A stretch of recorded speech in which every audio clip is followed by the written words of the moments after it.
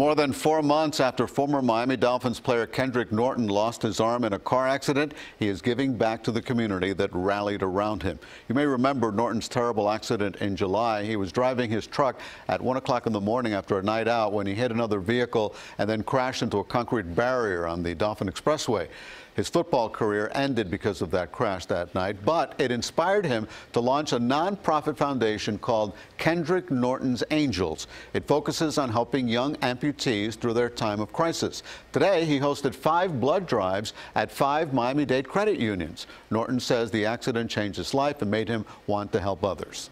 Before this, it was basically all football. You know, I didn't, I didn't have uh, big aspirations to be a, um, you know, a philanthropist or anything like that. So, you know, it, it, it wasn't uh, in my plan, my plan for myself. But of course, you know, God and the big man upstairs has big, bigger plans for all of us. Norton says the blood provided by OneBlood saved his life and promised the organization that he would give back, and he's doing it in a big way. Good for him. Wow, yeah. so inspiring. Very impressive. What an amazing person. All right.